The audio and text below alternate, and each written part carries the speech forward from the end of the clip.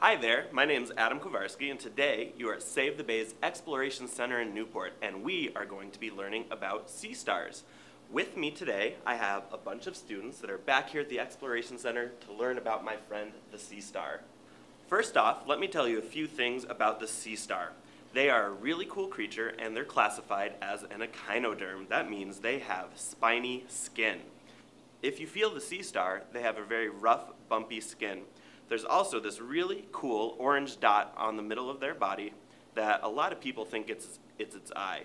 It's not actually its eye, it's known as the mother port or the madreporite, and it regulates the amount of water that goes in and out of the sea star. Uh, what a lot of people do not know is sea stars actually do have eyes, and they have five. There's one eye on the very tip of each one of their legs, and it's not quite like an eye like we have. They can actually only see shadows if you look at the bottom of this sea star, it has a bunch, a bunch of little suction cups on the bottom. Now, does anyone know the name of those little suction cups? Yeah. Tube feet.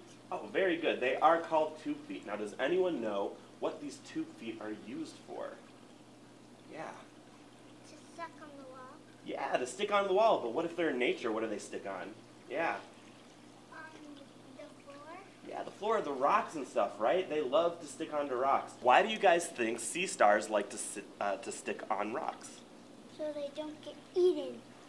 Very good. That's exactly why. That is definitely one reason. In order for sea stars to stick on rocks and use those really cool tube feet that they have, they actually use water pressure. So, by using that orange dot that they have on the top of their body, they can suck in water. It almost works kind of like our noses to breathe in air, but instead they're sucking in water, and that helps them move around and stick to different things really tight because sea stars actually have no muscles at all. They move around just with water pressure, and that also helps them eat. They love to eat different kinds of bivalves. That means things like mussels, clams, oysters, scallops, all that kind of stuff.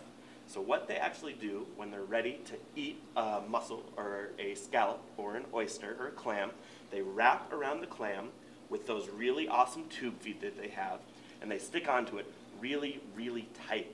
And then they slowly pull open the clam till it's open only a tiny little bit. And then what they do is they line up their mouth which is in the very center of their body with the opening that they made in the clam, in its shell.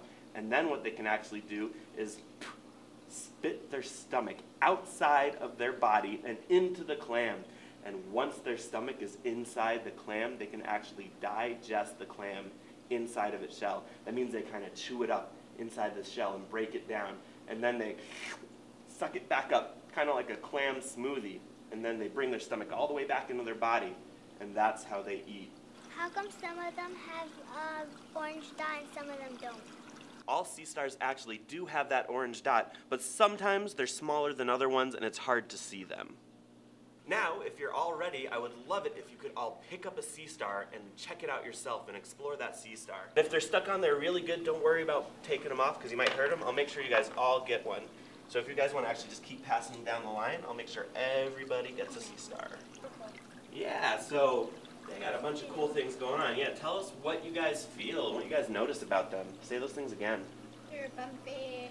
They're bumpy, that's true. Spiky. Inside it feels soft spiky. and spiky. Yeah, a little bit softer inside where those tube feet are, right? The dot's there. Oh, you found the dot. Very good. The mother port, the madreporite. What else, guys? How many arms do they have? Five. Excellent. They do have five arms. What else do you notice about them? Yeah. Some of them have short legs and tall. Does anyone know why? Because it might have been bitten off by a shark or something, so they're growing another one back. That is the answer. Does anyone know what they call that when an animal can regrow its body parts? Regenerate. Very good. That's exactly what they do.